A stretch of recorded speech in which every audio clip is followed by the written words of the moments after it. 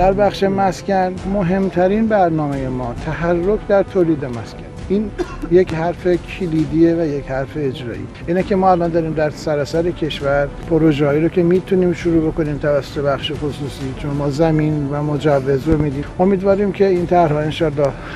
شاء الان شروع شده مردم هم میتونن از نزدیک ببینن من امیدوارم سال 98 سال پرتحرکی در ساخت و ساز باشه برای جامعه یه هدف ما که اخشار متوسط و کم درآمد جامعه هستن با تمهیداتی که انشالله بتونیم قیمت تمام شده رو کنترل کنیم از طریق هایی که در نظر گرفتیم